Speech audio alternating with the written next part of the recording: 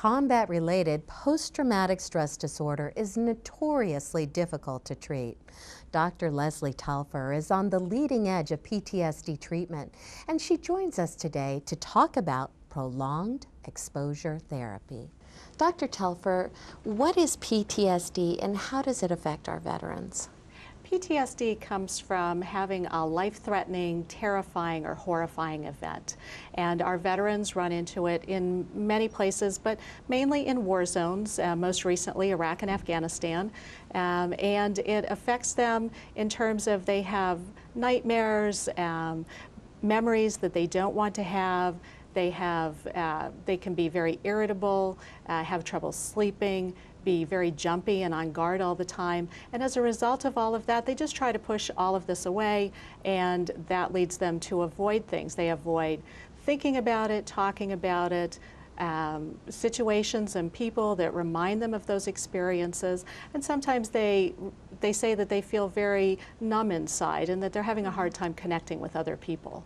Now, a fairly new therapy that we're mm-hmm. working with on, on especially our wartime veterans. Is called prolonged exposure and it does just the opposite doesn't it this therapy was developed about 20 years ago by Dr. Edna Foa at the University of Pennsylvania, and they first they used it with sexual assault survivors, but most recently we've been using it with war zone and combat veterans, and it's been remarkably effective. About 80% of people who undergo the therapy experience a significant decrease in their symptoms, and that's very exciting for us.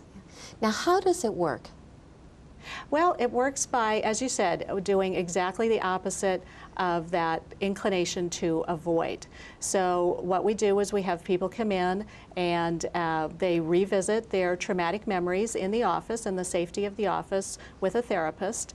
Uh, they, we actually record the revisiting of the memories. So they close their eyes and sit back and they talk through that most traumatic experience that they've had. They describe it from the beginning to the end, and when they get to the end, they go back to the beginning and they start over again. And they do that as many times as they can within about 30 or 45 minutes. Once we're done with that, then we process that because really, Dr. Foa thinks that PTSD is a result of the lack of emotional processing of a traumatic experience. And so we spend the last part of the session processing that traumatic uh, event that they've just revisited. Um, then they do homework, and the homework involves, first of all, listening to that tape of the imaginal exposure over and over again um, in between sessions, and then secondly, having them go out uh, into the community and do all of the activities that they've been avoiding. We have them do it in a very gradual fashion. We start with the easiest stuff and work up to the harder stuff. And then how long does this take, and uh, what have you noticed that it does for them? Well, it takes anywhere from about 10 to 15 weekly 90-minute sessions.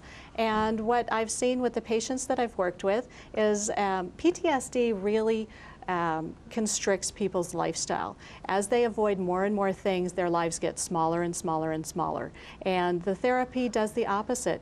It gets people out of their homes, it improves their, the quality of their lives, um, and it gives them the freedom to uh, to be inside their own head without fear of what might come up in their mind. Well, it just sounds like you're doing absolutely wonderful things for our young returning warriors, and we appreciate you for doing and that. And we're very excited to be working with our newest vets, as well as all they? of our vets. Yeah, yeah they are. Great. They bring yeah. a level of energy that we haven't had, yes, so it's kind do. of fun having yeah. them. Thank you so much for your time today. Oh, well, thank you for having me.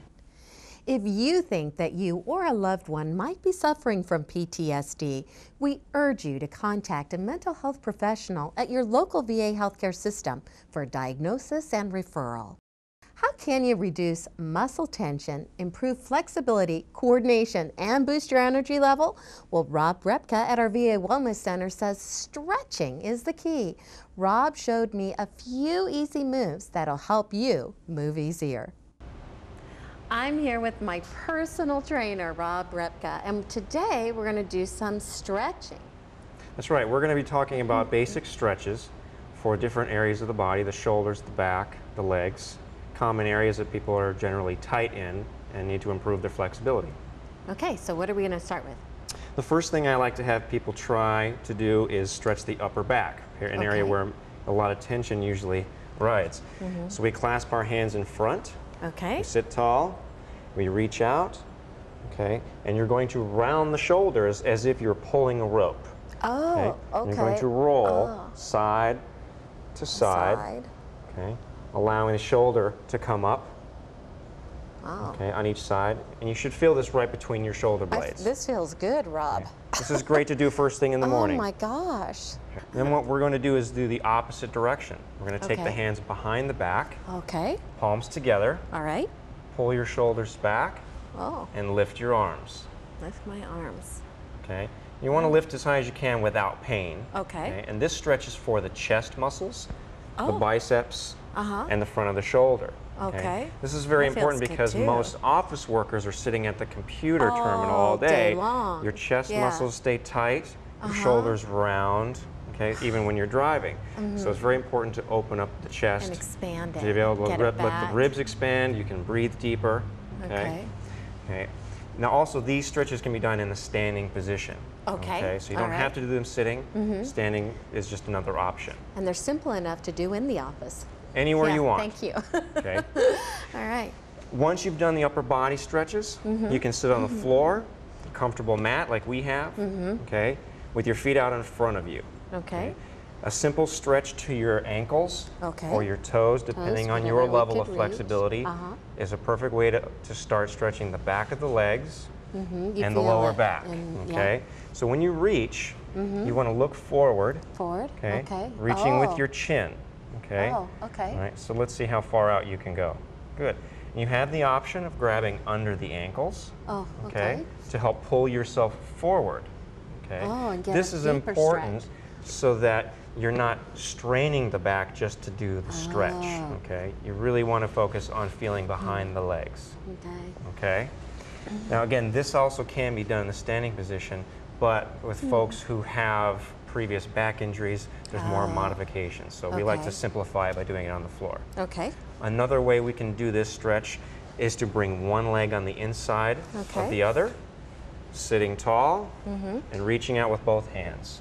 On Okay. the leg that's out. Right. And you would do this on both sides Oh, so just alternate it. and okay. alternate sides. Many people ask me how long should I hold the stretches, Mm-hmm. and I tell them at least 20 to 30 seconds on Wow. each side. So that is a good while. Okay. Okay.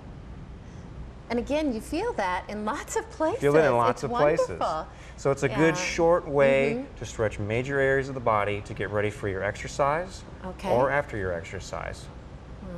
And and what about that flexibility? How does this help with that mobility that we were talking about? what it does is it enables you to move more freely, Mm-hmm. right, with more productivity. Wow. Okay, and of course it reduces your risk Of for injury. injury. That's right. Right. Okay. So let me just try it on the other one. Right.